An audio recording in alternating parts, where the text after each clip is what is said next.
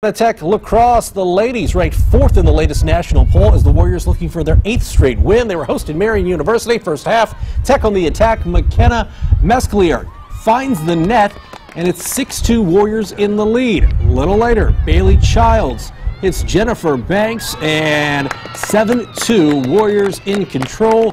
You're going to see Banks find Mescalier here as Indiana Tech goes on to win at home. The Warriors beating Marian by a final tally of 15 to 12.